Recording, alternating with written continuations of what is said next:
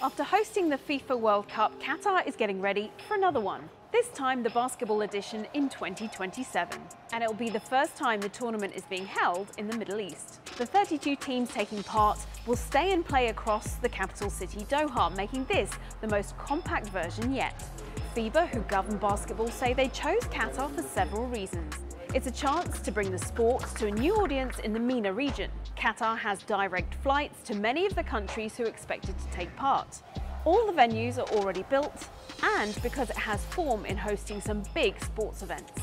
Qatar welcomes Formula One, MotoGP, tennis and golf annually and will also stage next year's Football Asian Cup and the Asian Games in 2030. You can now add basketball to that list, but before that, some of the world's best teams will head to Philippines, Japan and Indonesia for this year's World Cup where Spain are the defending champions.